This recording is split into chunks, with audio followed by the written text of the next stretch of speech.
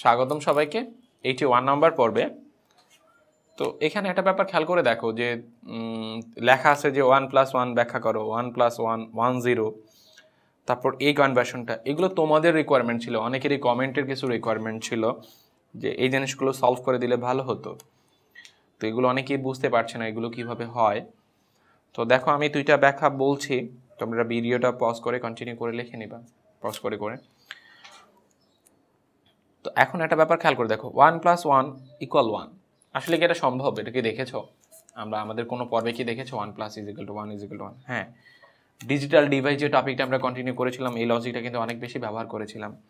তো এই ব্যাখ্যাটা তুমি কীভাবে বলতে পারো? দেখো one plus one is equal to one এই সমীকরণে এখানে বুলিয়ান অর লজিক ব্যবহার করা হয়েছে। এখানে বুলিয়ান এই এটা কিন্তু logical or operator or operation ব্যবহার করা হয়েছে। আর বুলিয়ান অরে জিরোকে চিন্তা করা হয় আসলে মিথ্যার সাথে আর ওয়ানকে চিন্তা করা হয় সত্যের সাথে। মানে জিরো হচ্ছে কত? জিরো হচ্ছে আমরা বলি ফলস আর ওয়ানকে বলি আমরা কি? ট্রু তাই না? তার মানে বুলিয়ান অর অপারেশনে জিরো আর ওয়ান কোনো সংখ্যা না, তার একটা লজিক্যাল লেভেল তাই না? একটা লজিক লেভেল আর আমরা জানি লজিক্যাল লেভেলের মধ্যে দুই বা ততোধিক ইনপুটের মধ্যে যে কোনো একটা ইনপুটের মান যদি ট্রু থাকে যে কোনো একটা ট্রু থাকলে আউটপুট কি হয়? ট্রু দ্যাটস মিনস ওয়ান এখানে দেখো, এই লজিক লেভেলের মধ্যে ওয়ান আর ওয়ান কিন্তু সংখ্যা না। এরা এরা হচ্ছে কি? এটা লজিক লেভেল দুইটাই আসলে ট্রু তো আউটপুট কি হবে? ট্রু তাই না?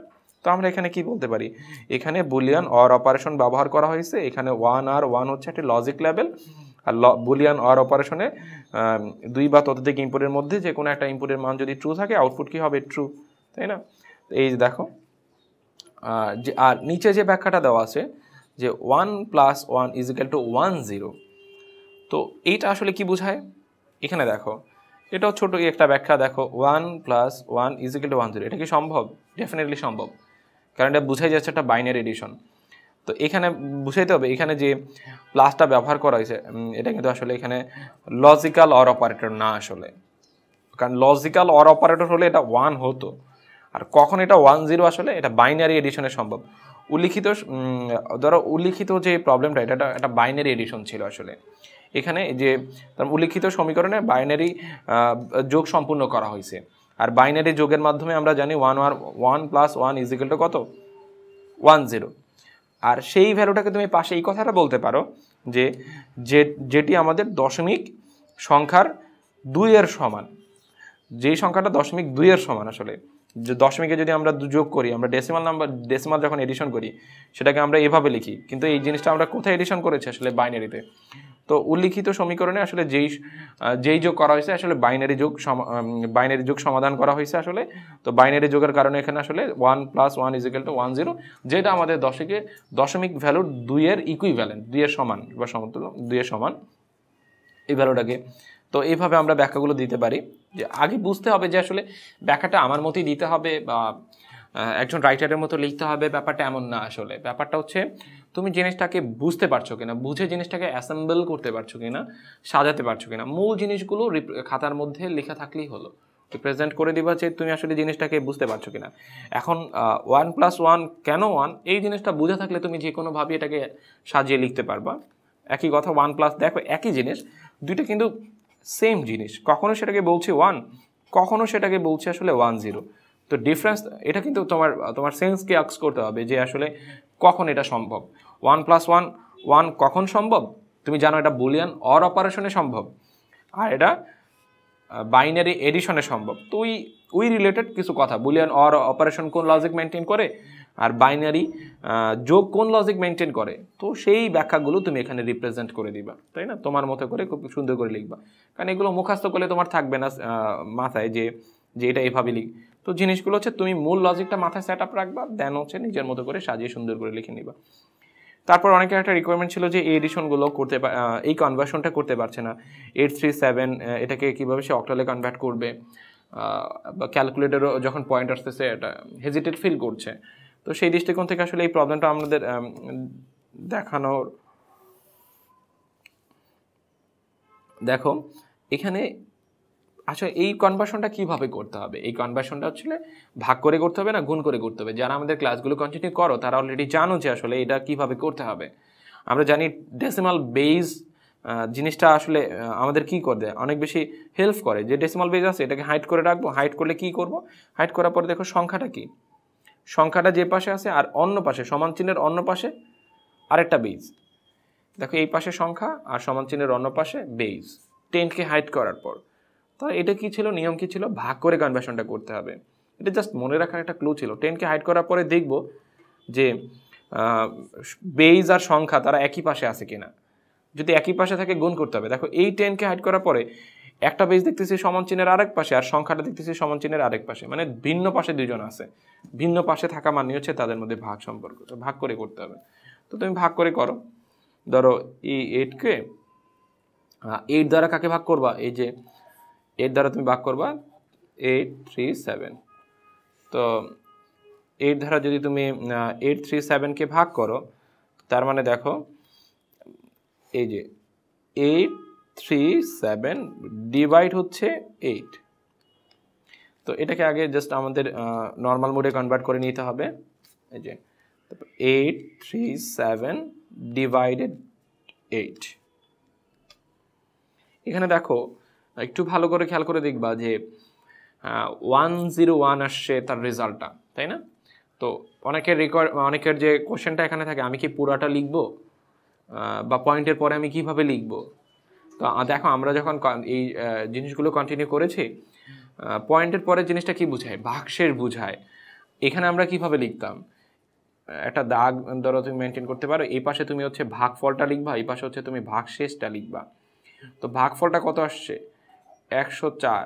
ভাগফলটা সেটা কি পয়েন্টে লিখব? ডেফিনেটলি পয়েন্টে লিখব না, একটা পূর্ণ সংখ্যা লিখব। কীভাবে লিখব তাহলে সেটা?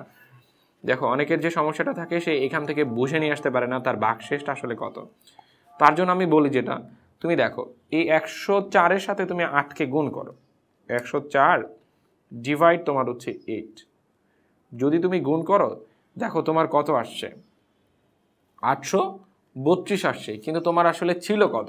আটশো সাতত্রিশ মানে এইট হান্ড্রেড থার্টি সেভেন তুমি তুমি এটা থেকে এটা যদি সাবস্ট্রাক্ট করো, তাহলে কিন্তু তোমার ডিফারেন্সটা পেয়ে যাবে। ডিফারেন্সটা কত? পাঁচ।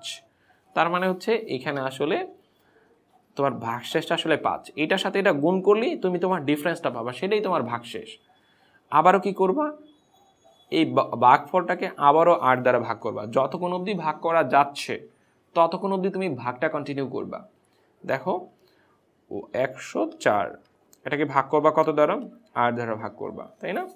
তো এখানে খেয়াল করে দেখো, এটাকে যদি তুমি আট দ্বারা ভাগ করো, তোমার ভাগফলটা কত আসছে? তোমার ভাগফলটা আসছে তেরো। দেখো পয়েন্ট আকারে কিছু নাই কিন্তু এখানে। খুব ভালো করে খেয়াল করে দেখো পয়েন্ট আকারে কিছু নাই। তার মানে কি? তোমার ভাগশেষটা আসলে কত তাহলে? অবশ্যই ভাগশেষ আছে, সেটা কি? জিরো তারপরে তুমি কি করতে পারো? এই আটকে তেরোতে তেরোকে আবারও আট দ্বারা ভাগ করো, তেরোকে তুমি যদি আবারও আট দ্বারা ভাগ করো, কত হবে? আট, তাই না? তার মানে এখানে দেখো, তারপরে এখন একটা জিনিস খেয়াল করে দেখো। এখন ডিফারেন্সটা কত? তুমি তেরো থেকে আটকে যদি সাবস্ট্রাক্ট করো দেন পেয়ে যাবে, তাই না? সেটা কত হবে, পাঁচ। না, এটা ক্যালকুলেটর করা দরকার এগুলো সহজ ক্যালকুলেশন আমি তোমাদের উদ্দেশ্যে দেখাচ্ছি। যখনই তুমি বুঝে যাচ্ছ, মুখে মুখে হিসাব করতে পারছ কেন ক্যালকুলেটর প্রেস করবা? জাস্ট তখন মুখে মুখে হিসাব করে ফেলতে পারো। তোমার টাইমটা অনেক বেশি সেভ হবে। তো তোমার বাক্সেস কত থাকতেছে? ফাইভ তাই না? তারপর দেখো। এই আট দ্বারা ওয়ানকে কি ভাগ করা যাচ্ছে? এখানে একটা কিন্তু সূক্ষ্ম একটা পার্থক্য আছে, আমি বলেছিলাম। ভাগ করা যাচ্ছে না আসলে, ভাগ করা যায় কিন্তু কনভার্ট করা যায় না। আমাদের একটা ভিতরগত মজা মানে কনভার্সনের ভিতরগত জিনিস নিয়ে একটা পর্ব করা হয়েছে ওটা দেখে নিই, বা কেন এখানে সার ভাগ করা যায় না?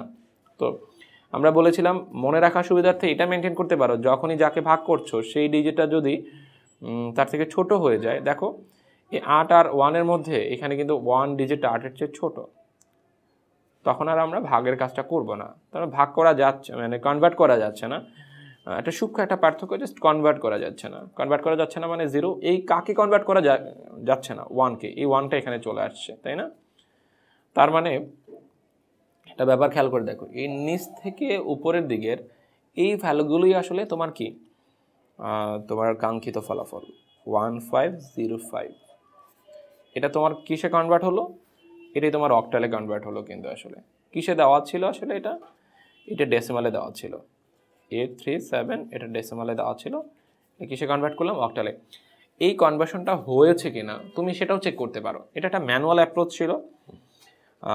এটাকে আমরা কিছু আমাদের কিছু প্রিভিয়াস পর্বে এই কনভার্সনগুলো ক্যালকুলেটরে কীভাবে চেক করতে হয় বা ক্যালকুলেটর কীভাবে করতে হয়, সেই জিনিসগুলো আলোচনা করা হয়েছে। তো আমরা সেভাবে দেখে আসতে পারি যে এই জিনিসটা হলো কিনা। এইট হান্ড্রেড থার্টি সেভেনকে আমরা ঠিকঠাক অক্টালে কনভার্ট করতে পারলাম কিনা। আমাদের যে প্রসেসটা ছিল সেটা নির্ভুল কিনা দেখি। আচ্ছা তাহলে আমরা কি করব? এই কনভার্সনটা আমরা ক্যালকুলেটরে চেক করব। তারপরে ক্যালকুলেটরকে বেস মোডে কনভার্ট করব, এই থ্রি তারপর কি করব? যে eight hundred thirty seven eight hundred thirty সেভেনকে আমরা কোন মোডে এইট হান্ড্রেড থার্টি সেভেন দেখো কিসে দেওয়া ছিল? এই যে ডেসিমালে দেওয়া ছিল কিন্তু। তাহলে ডেসিমাল এই যে ডেসিমাল তারপর তুমি এটাকে কি করবা? কোন মোডে কনভার্ট করে নিবা? অক্টাল এই যে ও সিটি অক্টাল বাটন দেখো, স্পষ্ট খেয়াল করে দেখো, কি আসছে? ওয়ান ফাইভ জিরো ফাইভ, তাই না?